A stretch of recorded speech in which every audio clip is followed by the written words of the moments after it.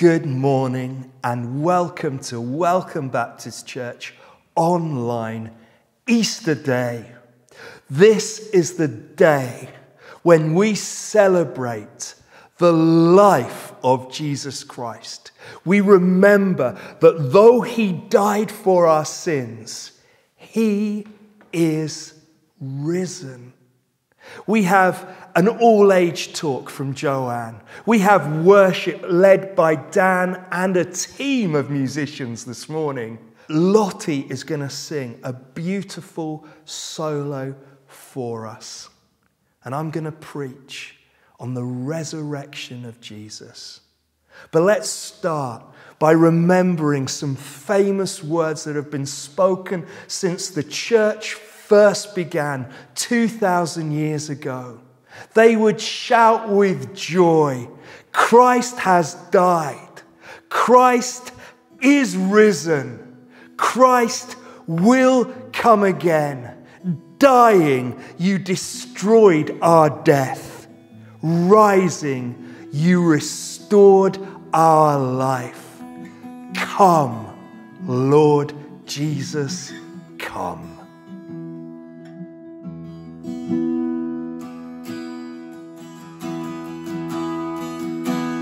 change.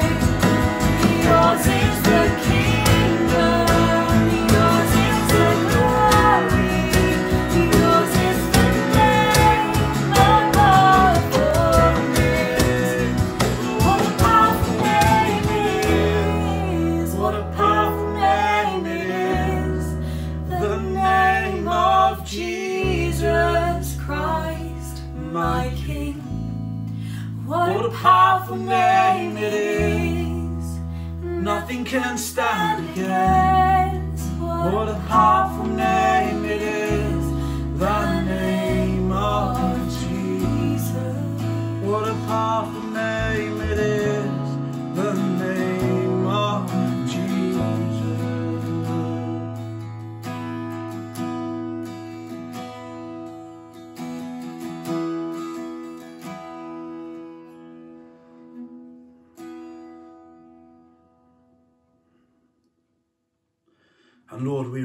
this on Easter Sunday. Of all days, we recognize what a powerful, what a wonderful, what a beautiful name it is. That you would die on a cross for, for us. We are not worthy, Lord. We are not worthy. But through your love and your grace, we are saved.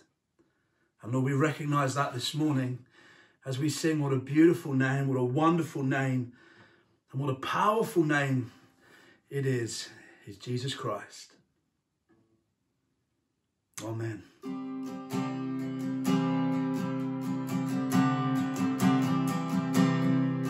How great the chasm that lay between us, how high the mountain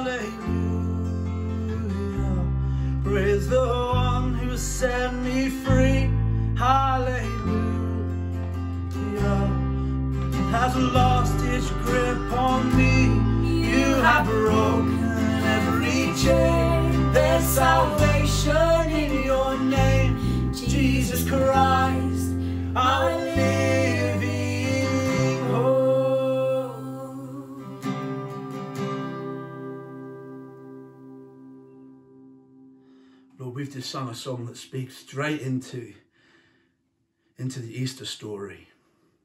And Lord, it's called Living Hope. You are our living hope, and we thank you for that. We thank you for meeting us here this morning on this wonderful day, on this day of celebration. Amen. Amen. We're now going to hand over to Joanne, who's going to bring us an all age talk. Joanne. Easter is one of those times where we like to give and receive gifts, probably something like this. Now, they're very pretty on the outside, but like most gifts, the best bit is what's on the inside. Yum. Now, God has given us a gift at Easter too, but God's gift is a little bit different. After Jesus was crucified, his body was laid in a nearby tomb. On the morning of the third day, two women who were friends of Jesus came to the tomb. Now, they were the first people to understand how God's gift was different because you see, the best bit is not on the inside because the tomb was empty.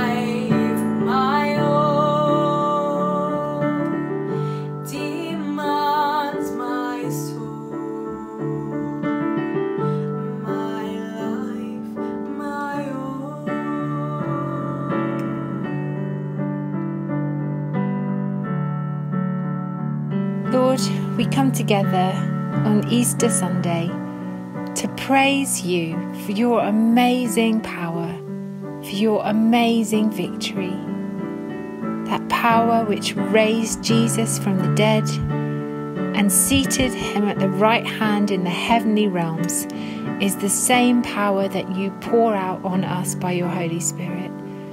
So, Lord, as we come before you today, we ask that you would fill us with your Holy Spirit, that we may know that same power and strength. Help us, Lord, to fix our eyes on the things that are above. Help us to have a quiet assurance that despite what we see around us, in the heavenly realms, Lord, you have not forgotten us, you have not abandoned us, and you are faithfully and lovingly working in ways that we can't see. We pray for our world that people would turn to you in their trouble and tribulation, that people would turn to you in their confusion, and that people would turn to you in their fear and find you and be found by you. Lord, turn hearts and minds towards you. Lord, would you meet people's needs?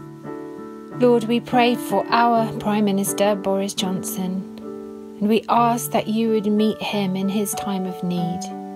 In his humbled circumstances, Lord, would you cause his eyes to turn towards you? Would he find in you salvation, strength, wisdom, and all that he needs? Lord, we pray for the many people across this nation who are bereaved and suffering loss. Lord, would you meet them in their grief? Lord, would you extend your comforting hand toward them? Lord, as we celebrate Easter and your conquering of death, please give us hope even as we grieve. Let's proclaim together that hope in Jesus as we pray in the way that He taught us.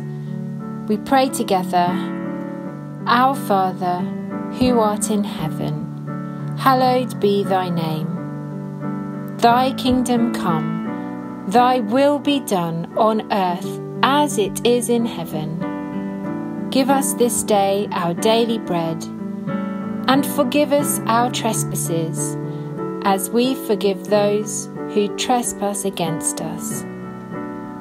And lead us not into temptation, but deliver us from evil. For thine is the kingdom, the power, and the glory forever and ever. Amen.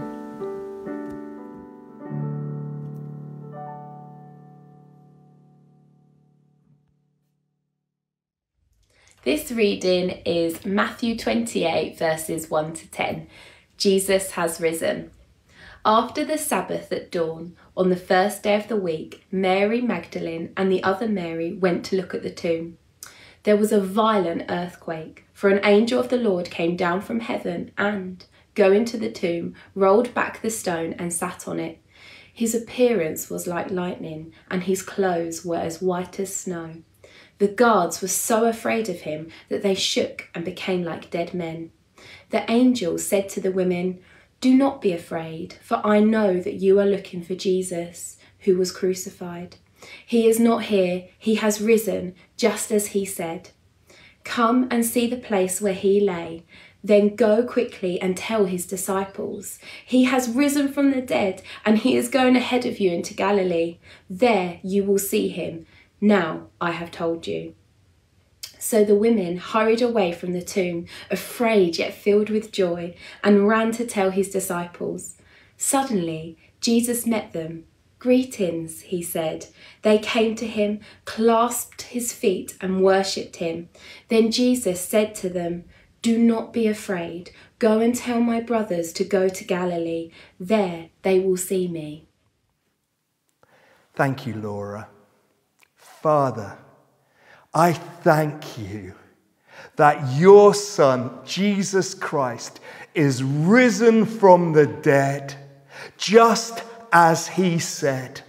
I thank you that the word this morning, the word this year, the word in eternity is that Jesus Christ is not dead, he is alive.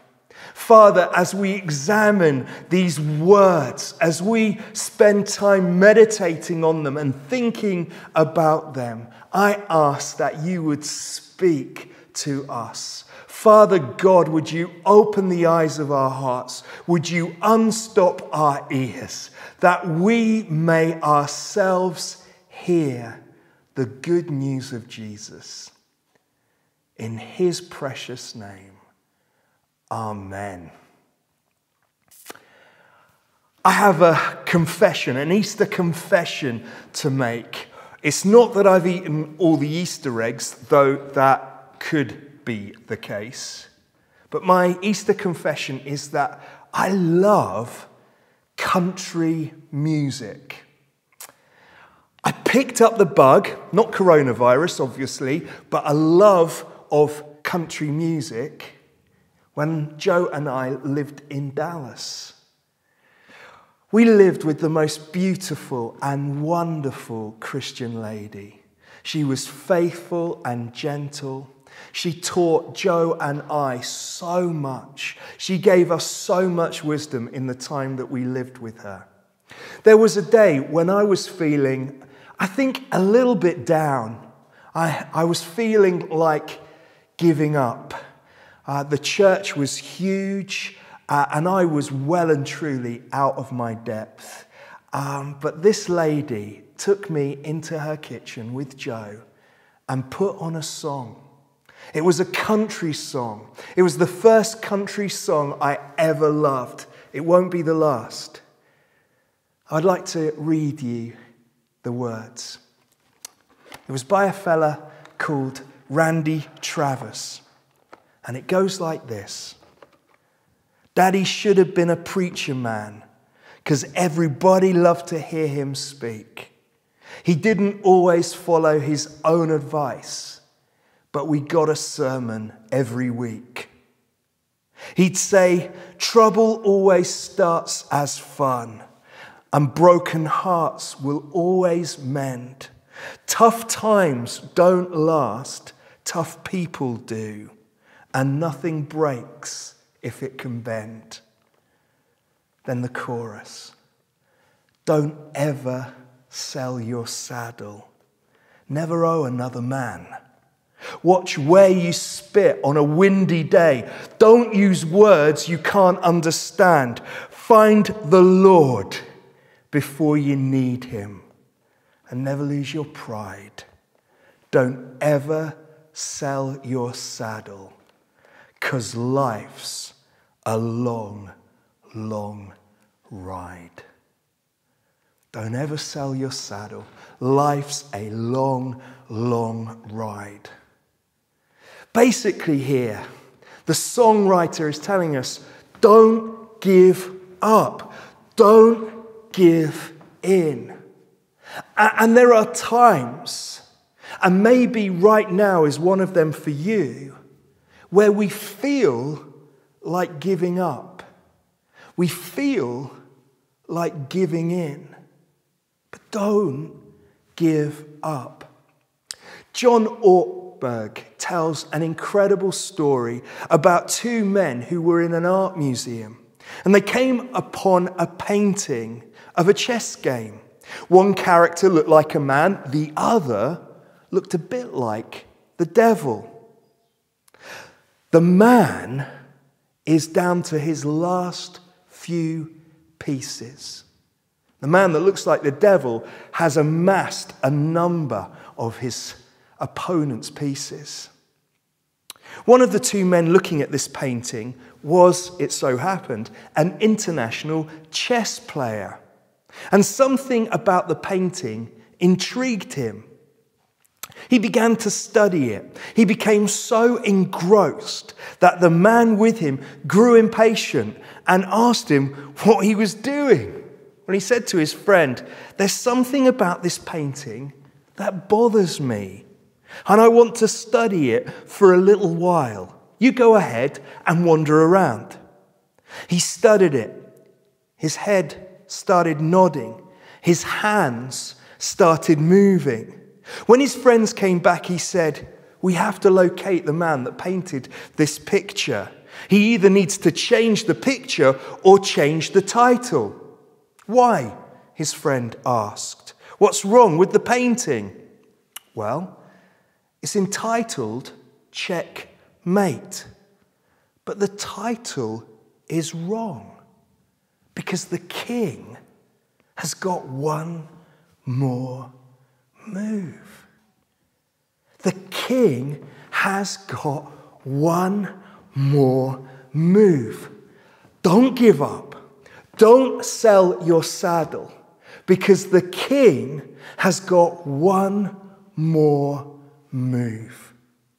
Let's look at this Bible passage uh, again. It's Matthew chapter 28, and verse 1 starts with this deeply moving image of two women going to the tomb. After the Sabbath, at dawn, on the first day of the week, Mary Magdalene and the other Mary went to look at the tomb. I love this. There is a courageous faithfulness about these two Marys Mary Magdalene and Mary, the mother of Joseph and James. And there they go, heartbroken to the tomb. I find it interesting because where are the men? Well, we know where the men are. They're holed up. They are fearful. They are afraid that Judas has betrayed all of them too. We saw Peter deny Jesus those three times. And all the disciples are, are staying safe behind locked doors. But these tremendous women of faith, disciples of Jesus, Mary and Mary, are going to the tomb. They're heartbroken because they do not know the king has got one more move. Look at verse 2. There was a violent earthquake. There had been an earthquake when Jesus died. And now, as Jesus is raised to life, there is another earthquake. These seismic movements happen because Jesus Christ, the King of Kings and the Lord of Lords, is doing something amazing. In the first instance, he's taking all the sin of all the world, all the grief, all the pain upon himself. In the second instance, he's bursting forth. Death could not hold him, the grave could not keep him, and he walks free. There is an incredible violent earthquake. For the angel of the Lord came down from heaven and going to the tomb, rolled back the stone and sat on it. I love that image of the angel on the stone.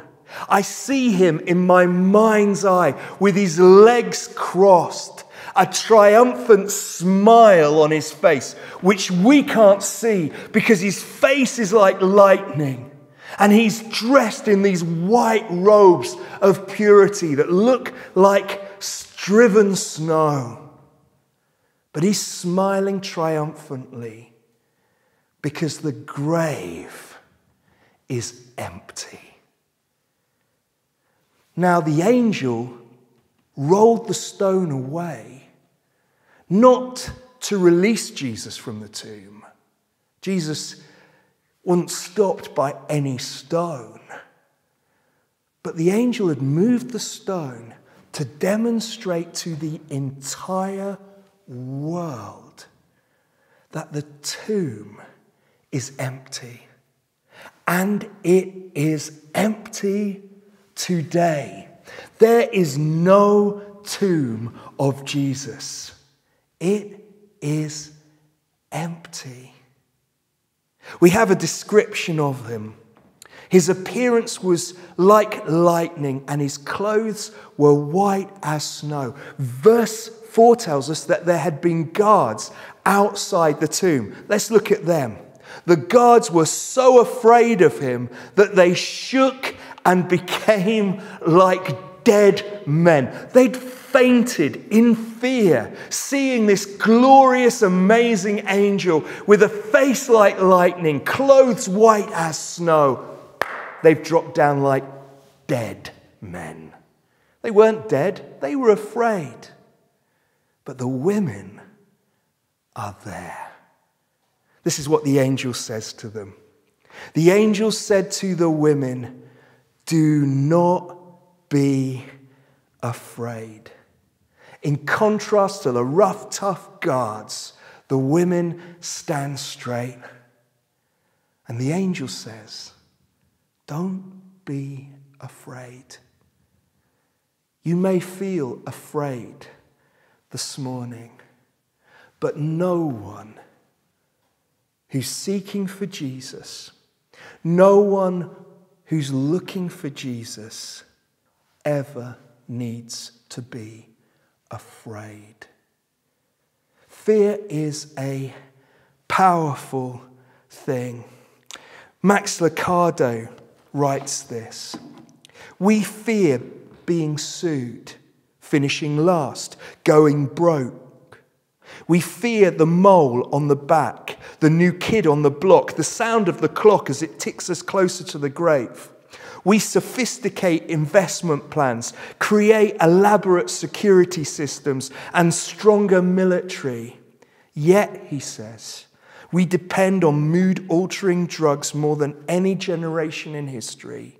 Moreover, and he quotes, the average child today has the same level of anxiety as the average psychiatric patient in the 1950s. It's heartbreaking. He goes on. Fear, it seems, has taken a hundred year lease on the building next door and set up shop, oversized and rude, unwilling to share the heart with happiness. Happiness complies. Do you ever see the two together? Can one be happy and afraid? At the same time, clear thinking and afraid, confident and afraid, merciful and afraid. No. Fear is a big bully. It's the bully in the high school hallway, brash, loud, and unproductive. For all the noise fear makes and the room fear takes, fear does little good. Fear never wrote a symphony or a poem. It never negotiated a peace treaty or cured a disease. Fear never pulled a family out of poverty or a country out of bigotry. Fear never saved a marriage or a business. Courage did that. Faith did that. People who refused to consult or cower to their timidness did that. But fear itself, fear herds us into a prison of unlocked doors. Wouldn't it be great to walk out? Wouldn't it be great for the angel to roll away the stone of fear in your life and for you to walk out? Wouldn't it be great for Almighty God, the creator of heaven and earth, to roll away that stone of fear and set you free. I believe he can because the king has got one more move. Don't be afraid, the angel says to the courageously bold women. Don't be afraid. For I know that you are looking for Jesus, who was crucified. He is not here, He is risen, just as he said. Come, he says, come and see the place where he lay. What an image.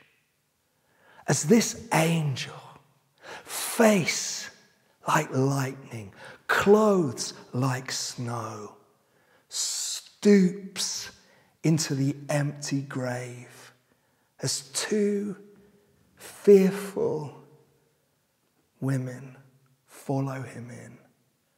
His lightning face lights up the room, and they see the grave is empty.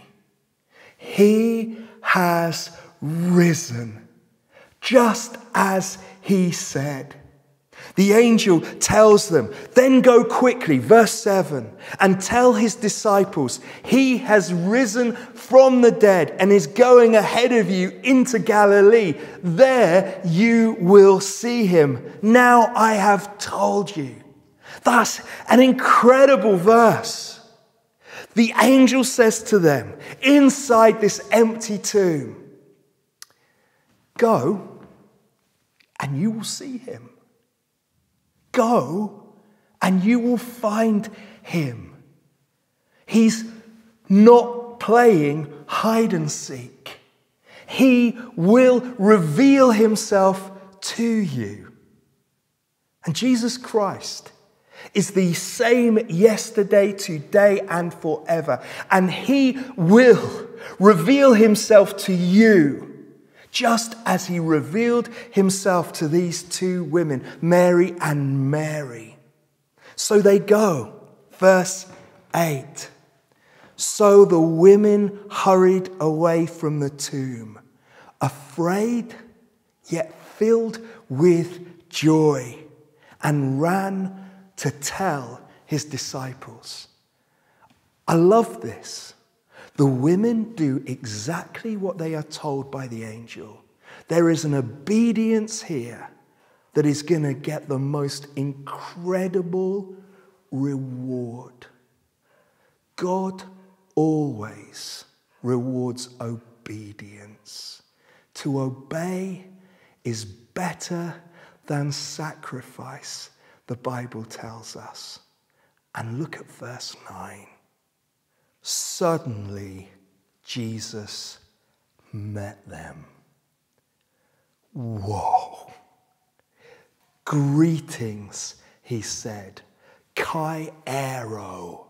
Kai ero. That's an incredible word which has been translated greetings to us. It means to rejoice, to be glad, to rejoice exceedingly, to be well, to thrive, to hail to greet enthusiastically.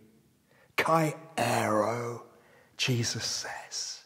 It's not meek, it's not a whisper, it is a bold, in your face meeting of the Savior. Suddenly, Jesus met them. Greetings, he said. They came to him, clasped his feet, and worshipped him. They got down on their knees and held his feet, and they worshipped him. Don't tell me that the Bible says Jesus isn't God. Don't tell me that Jesus never said he is God. He did and he is, and the Bible proclaims it. These women are on their knees and they are worshiping Jesus. It's an incredible image of our King coming down and meeting with his precious children. And again, I tell you, he longs to meet with you too. Then Jesus said to them, verse 10, Do not be afraid. Do not be afraid. The king has got one more move. Go and tell my brothers to go to Galilee. And here's that promise again there they will see me. That's the promise of Easter. On Saturday, the Pharisees thought it was checkmate. The Sadducees thought it was game, set, and match. Herod thought he was the king. But the real king, the true king, has one more move. The truth is the same. And the truth is right now that if we will come to him, no matter our fear, no matter our trembling, no matter our courage levels, if we come to him now and confess our sins, he will wash us clean. He will make us new. Not only will He give us new life bursting forth from within us, but we will meet Him. That's the promise. These are uncertain days. Our country is in lockdown. We are separated from people we love. There is fear and uncertainty. Our businesses, our livelihoods are at risk. But Jesus says to you this morning, the King has one more move. Can you hear his whisper? The King has one more move. Can you hear it? The King has one more move.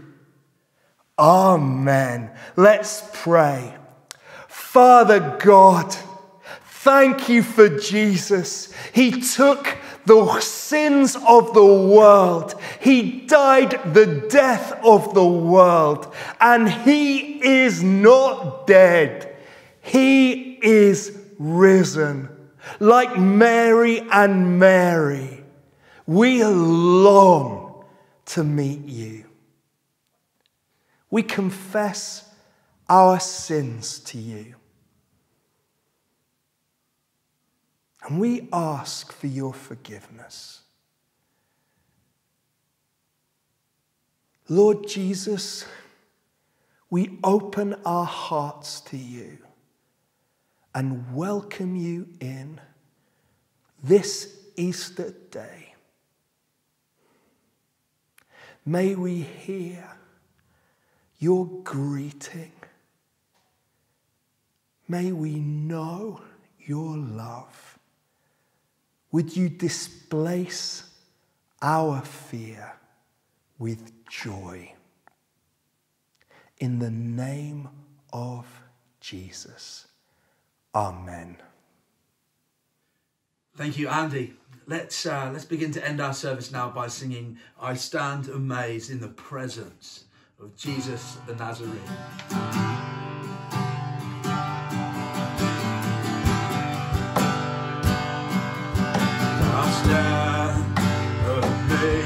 In the